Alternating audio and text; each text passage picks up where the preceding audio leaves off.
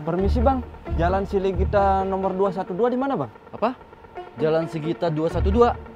Hmm, Di, di sini. Oh, Hmm, tapi ya bang, di sana juga ada Jalan Siligita 212. lah, kok sama? Iya, di sana juga ada saya bang. Bang, serius nih. Saya lagi kerja. Saya mau ngambil penumpang. Abang ini apa ini? Saya ojol. Di sini mah ojek pangkalan bang. Lah, emang kenapa? Abang mah nggak boleh di sini. Ini khusus ojek pangkalan bang. Saya kan cuma nanya alamat. Yaudah deh, makasih. Saya tinggal dulu.